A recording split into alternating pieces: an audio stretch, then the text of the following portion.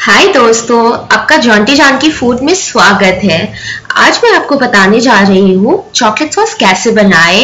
ये बहुत टेस्टी है और बहुत इजी है। इसे बनाने के लिए एक पैन में थोड़ा पानी ले लीजिए और उसे पहले हम गरम करेंगे। मैंने एक ग्लास पानी लिया है। अब पाँच चम्मच चीनी डाल दीजिए इसमें अब एक आध मिनट रुकिए कि चीनी गल जाए।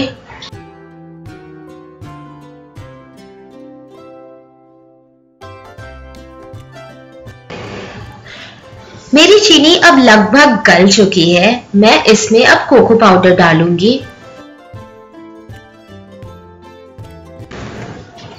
मैं इसमें one and half tablespoon cocoa powder डालूँगी। मैंने यूज़ किया है कैडबरी कोको पाउडर बट आप कोई भी कोको पाउडर यूज़ कर सकते हैं। आपको चॉकलेट सॉस बनाते वक्त ये चीज़ याद रखना है कि आपको इसको इस तरीके से हिलाते रहना है, वरना सॉस जल जाएगा और पैन पे चिपक जाएगा।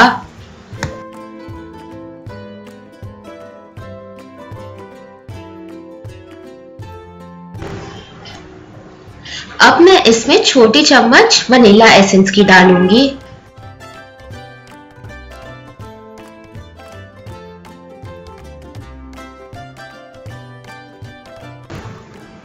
इसे इस तरीके से घुमाते रहिए और इसे थिकन या गाढ़ा होने दीजिए।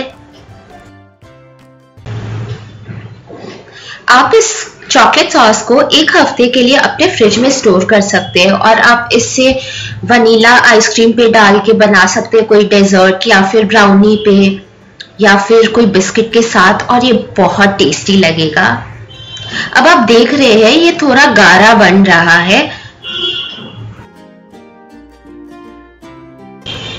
इसकी क्वांटिटी आधी हो चुकी है और ये काफ़ी हद तक गाढ़ा हो गया है और लगभग तैयार है।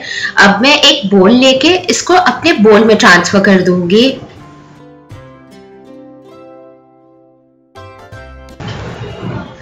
आप इसे तुरंत सर्व कर सकते हैं या फिर फ्रिज में स्टोर भी कर सकते हैं।